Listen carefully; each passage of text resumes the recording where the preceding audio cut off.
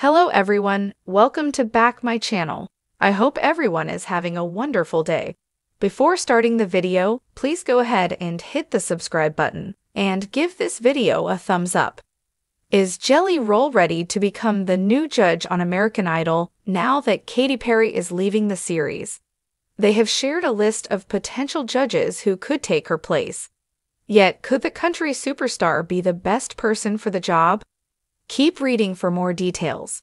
This season of American Idol is bittersweet as it is Katy Perry's last one. Since the reality singing competition was revived in 2018, it has been Perry, Luke Bryan, and Lionel Richie at the judges' table.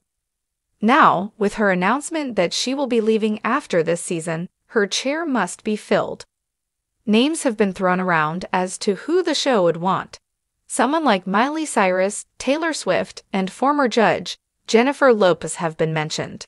At the same time, it would have to be someone who stands out and would gel very well with Richie and Bryan in the same way that Perry does. Jelly Roll has been mentoring the singers this season as well as performing. He has a lot of insight and amazing stories to tell. The one thing that Jelly does when he is on tour is make frequent stops at prisons and detention centers. He has been in that position in the past, so he wants to show inmates there is light at the end of the tunnel.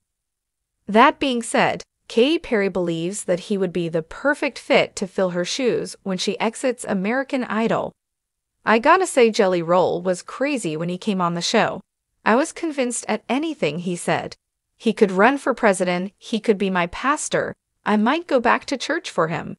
He could sell me anything, so I love him. And to have any of these guys plus Jelly on the show would be amazing. I love you, Jelly. The biggest question would be if Jelly Roll would have the time to dedicate to American Idol. He's going out on tour starting August 2024, but it ends in October 2024. Therefore, he could theoretically make the time to join the show if they asked him. However, would they want an all male panel that is questionable, but time will tell who will fill Katy Perry's shoes. Would you like to see Jelly Roll as an American Idol judge? Let us know your thoughts in the comments below.